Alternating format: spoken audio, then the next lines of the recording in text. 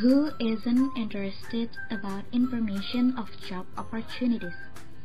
Moreover, when it is potential for our future life.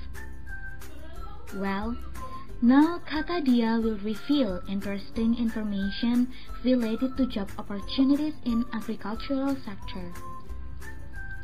The question is, is it cool to work in agricultural sector? Some people probably wondering about this. Perhaps they will say that it is old, full of mud, and the salary is low. But wait, the fact shows high number of people in this world are now being interested to work in agricultural sector. According to the data of ILO, International Labour Organization, agricultural sectors occupy the top position in employment in this year. In the next few years, it says that agricultural sector can settle the average of 30% of the world employers.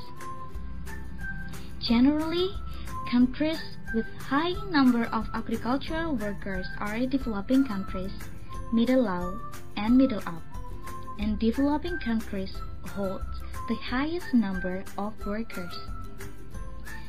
And how about Indonesia then? ILO reported that Indonesia is categorized as middle-low country and agricultural sector plays big role in overcoming the employment issues. President Joko Jokowi Widodo put this issue into his program Nawacita High interest of workers in agricultural sectors generally has three reasons. The first one is it is reachable by all levels of social diversity. The second one, agricultural sector is the one and only timeless sector which maintain food security. The third one, it requires a relatively high number of manual workers and nowadays, modernization has led agricultural to a very promising jobs. It's simple.